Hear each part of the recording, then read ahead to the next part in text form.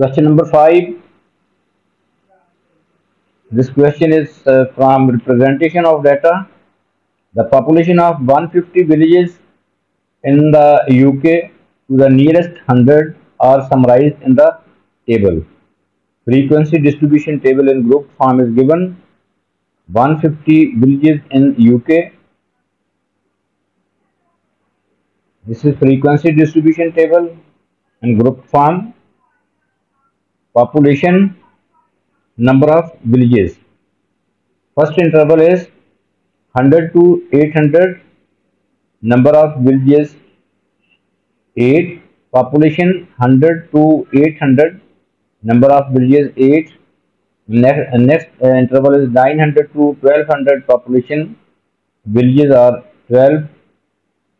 13 to 2000 villages 50 2100 to 32 villages are 48 3300 to 4800 uh, population villages are 32 this is a frequency distribution table. This is the, uh, these are the intervals and this is these are the frequencies. Frequencies are 8 12 50 48 32 uh, part first of this question is draw a histogram to represent this information. To draw the histogram, first we look to the data. First of all, we look uh, observe that if the data is continuous, the data is not continuous because 100 to 800. Then next is 900 to 1200, and next is 1300 to 200, and so on. So there will be a gap to draw the histogram. So remove to remove the gap we will take the boundaries. How we will uh, take the boundaries against each interval 100 and 800 these are class limits. But we will take the boundaries against uh, of uh, each interval by subtracting and adding absolute error. Now what is absolute error? Absolute error uh, absolute error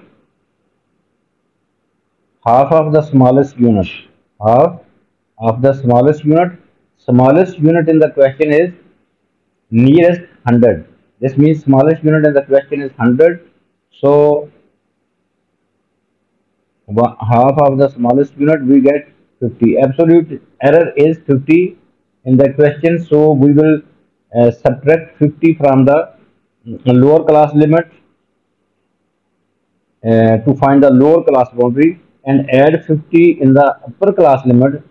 And that is 800 we are ready we will add 50 in this uh, upper class limit to find the upper class boundary. So uh, first interval uh, the class boundaries for first intervals are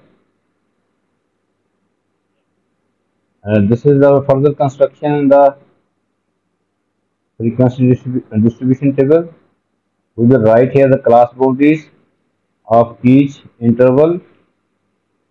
So next is class width of each interval. Next is frequency density. Uh, first of all, we have to um, observe that if the data is continuous, data is not continuous, so we will take boundaries, class boundaries against each interval and uh,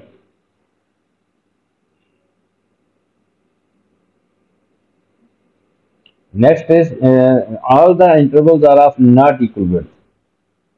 For example, class width of the first interval is 800, then 100 to 800, class width is 800. Next, for the next interval, interval 900 to 1200, class width is 400.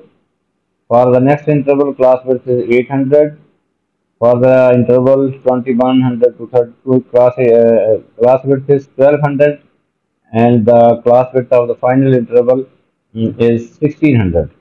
So, so first uh, uh, to draw the histogram we will take the frequency densities because intervals are of not equal widths. So frequency density how we will uh, find frequency density this is formula for to find the frequency density frequency over class width frequency CW mean class width. Frequency of class width, we will use this formula to find frequency density against each interval. Frequency is 8, class width is 800, we get by dividing using this formula we get 0.01 and the frequency density for the next interval is uh, 12 over 400 using this formula we get 0.03 in the same way 50 over 800 we get 0.0625 and uh, for the next interval uh, frequency is 48 and uh, class width is 1200 uh, we get 0.04 this is frequency density. And next for the next interval uh, 32 over 1600 1600 is the class width. So, so we get 0.02 now we have completed this uh, graph uh, this table to draw the histogram. Now we will take frequency density along uh, y-axis and the interval along x-axis using a suitable scale. Now according to the data we are taking the scales uh, along x-axis we are taking one small scale is equal to 100 units and uh, along y-axis one uh, large scale uh, we are taking uh, 0.01 this is 0.02 0.03 0.04 and so on according to the frequency density values now we draw the histogram. First interval is uh, 50 lower class boundary. Now this is the lower uh, lower class boundaries. Uh, lower uh, this value lower class boundary 850 is upper class boundary. In the same way, 850 lower class boundary, 1250 is upper class boundary, and so on. Class boundaries we have found against each interval. So we are taking a suitable scale along x-axis and y-axis we will draw a suitable um, histogram. First interval is 50 to 850. First, these are the uh, um, uh, this is the scale uh, 0 this is 1000 next is 2000 next is 3000 4000 and 5000 against the uh, according to the scale. Now 50 to 850 first interval 50 to 850 this value is 50 this is 850 uh, frequency density is 0 0.01 so we will make a rectangle. And next interval is 8 uh, 50 to 1250 Frequency density is 0.03, 850 to 1250. This value is 8, uh, uh, this value is 850 and this is 1250 and the frequency density is 0.03 for the next interval uh, that is 1250 to 2050 frequency density is 0.0625 1250 20, uh, 2050 frequency density is 0 0.0625 this is this value uh, this uh, uh, reading is 0 0.06 and this is 0 0.07 so if we take uh, take the mid value of these two values that is 0 0.0 uh, say, uh, 0 0.065 so we will we need a frequency density value 0.0625 so, so mid value of this point 06 uh, 0.06 and 0.0650 the mid value of this will show the point 0625 so so look at here this is the diagram for this is the rectangle for this interval okay next now for the next interval, uh, 20, uh, 50 to 30 to 50. Frequency density is 0 0.04. 20 50 is this, uh, 30 to 50 is this. Against uh, it, the frequency is uh, frequency density is 0 0.4 so we are making this rectangle. For the last interval uh, 32 uh, 50 and 48 50 frequency density is 0 0.02 32 50 is here 48 50 is here frequency density is 0 0.2 so we uh, make this rectangle next part b of this question is write down the class interval which contains the median for this information. Median will be the 50% uh, through the data. So to find the median, we will uh, find the median. Median is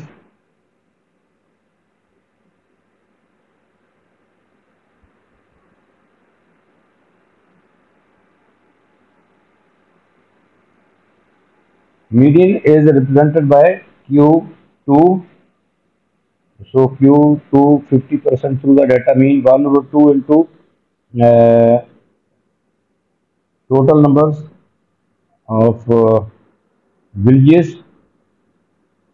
150 so 1 over 2 into 150 we get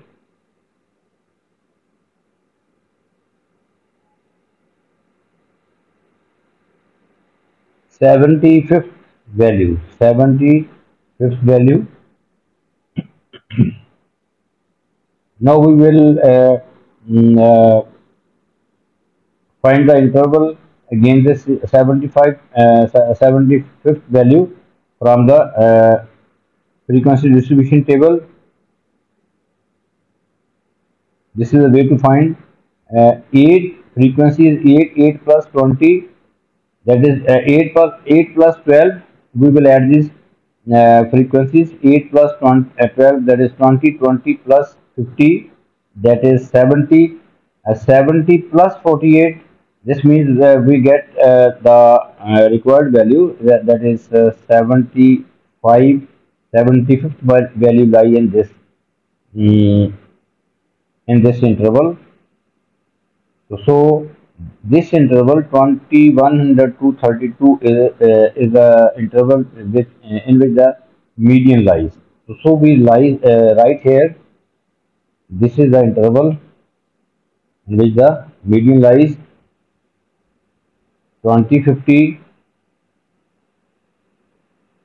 to 3250.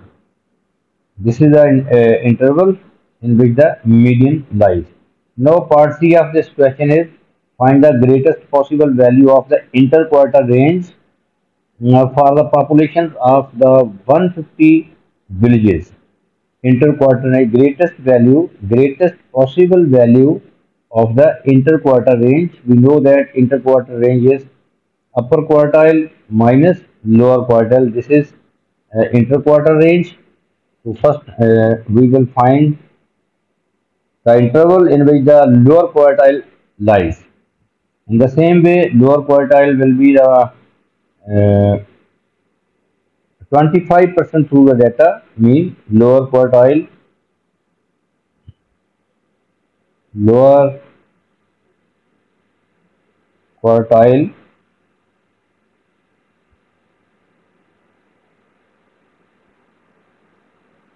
1 over 4 into 150 because the number of villages, total number of villages are 150. The sum of these frequencies becomes uh, 150. So 1 over 4 into 150 we get 37 point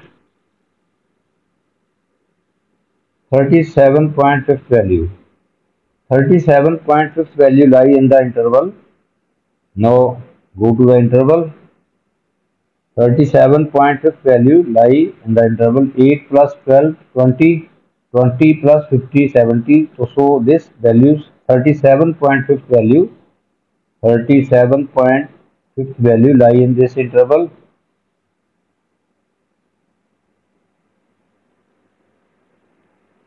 Twelve fifty to twenty fifty. So we will write here lower quartile lies in this interval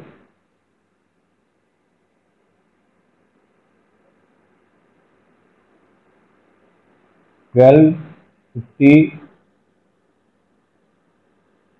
to twenty fifty. Now the upper quartile,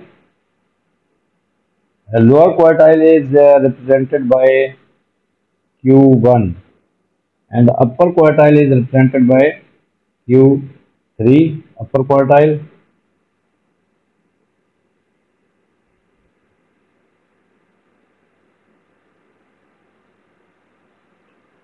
To find upper quartile, upper quartile is uh, of the data is 75% through the data, so we uh, will find in this way 3 over 4 into 150. Uh, we get uh, 112.5 value. 112.5 value lie. Now we look through this uh, interval in which this reading uh, lies.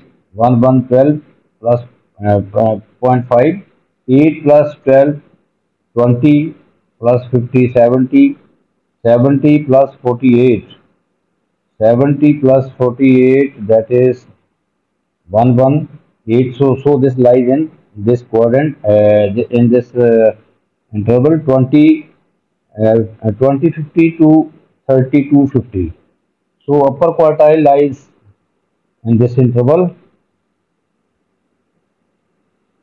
Upper quartile lies in this interval uh, 2050 to 3250 now from uh, th this is the interval in which uh, lower quartile lies in this interval upper quartile lies uh, in this interval. So we have to find uh, the greatest possible value of interquartile interquartile range. So we will um, subtract lower uh, upper quartile by uh, we will subtract lower quartile from upper quartile. But we have to find the since we have to find the greatest possible value of interquartile range so, we will take the maximum value of uh, q3 and minimum value of q1 so we may have a greatest value of the difference. The difference shows the interquartile range so we will take this maximum value and uh, of this interval and lowest value of this interval 1250 from here 3250 so greatest value and, uh, interquartile range greatest interquartile range greatest